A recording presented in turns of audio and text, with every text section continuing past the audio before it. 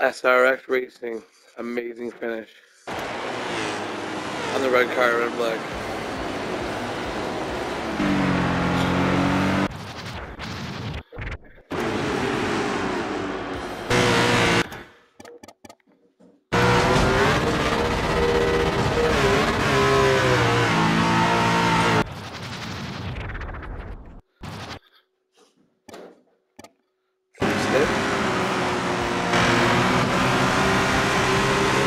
third.